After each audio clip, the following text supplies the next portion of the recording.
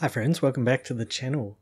Today I wanted to share with you a really nice AI video set of tools. So this is called CapCut Online Video Editor. There's actually a mobile, online and PC versions of this. And what it is, is a selection of really useful AI driven video and image tools, and also a set of templates that link in with those as well.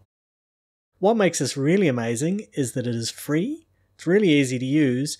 And when I say free, it doesn't watermark. So there's no watermarks or any of that usual, it's free, but actually the thing you make isn't useful or usable. We can pay a little bit more, unlocks a whole lot more space, unlocks some pro features, but really all of these just as they are pretty nice. There's a really amazing selection of tools here.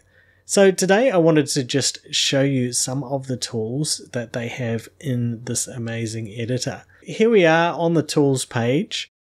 The two places we are likely to be spending our time are the tools page and the templates page.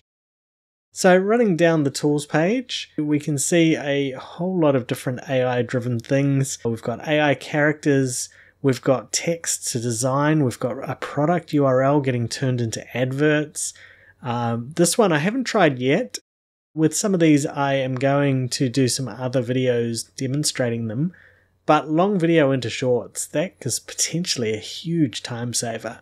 We've got product photos, ad script. Coming down further for our video, we've got remove background, we've got a video upscaler, we've got a resizer, stabilization, super slow mo. Down in the images, so text to image, image to image, Old photo restoration looks pretty cool. Uh, again, an image upscaler, so being able to use AI to increase the resolution of a particular image. Got changes in style, got color correction, low light. So really amazing set of tools here. They've grouped them in different ways. So if we come down for business, you'll see there's just a repetition of some of those ones we have already looked at. But this is a really nice selection of tools. The other thing we have is templates.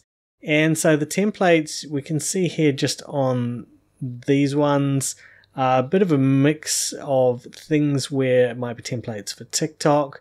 Certainly, I think for my audience, some of these business ones are probably more in line with what you might be interested in.